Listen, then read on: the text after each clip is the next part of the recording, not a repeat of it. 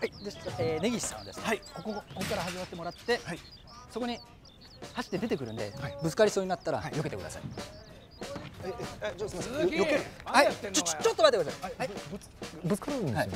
あ、ぶつかりませんよ。避けるでいいんで。避けるで。え、避けるで。あ、大丈夫です。さっきから何遍すぐすぐすぐすぐ言ってんだこの野郎。はい。はい、行くぞ。はいはいはい。よい。さあ。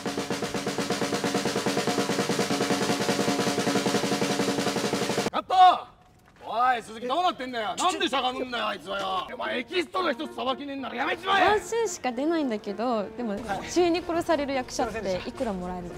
あれだけやって5000円一日中拘束されんの？もうほんと雑に扱われておしまい。いや人間がやるもんじゃない。いやそれはひどいわ。大学辞める？マジで言ってんの？もう決めた。ご機嫌だねわかる？分かっちゃう。まあまあ超能力。のためにさ小夏の人生犠牲にする必要ないじゃん。のは私が一番分かってる。どうしたんだよ小夏なんでお母さんが出てったか分かる？なんで私がこんな時間に働いてるか分かる？小夏お父さんはいつもそう。いい父親のふりして自分のことばっかり。家族のことなんかちっとも見てない。エキストラの方こっちなんです。エキストラじゃねえし。いっぱい思ってもらうわ。違うんしてくださいよ。そうだね役立なプランがあるんだよあ行ってとかいいよいいよ。飯の後それで行こうよ。はい。ありがとうございます。おい父さん出るぞ。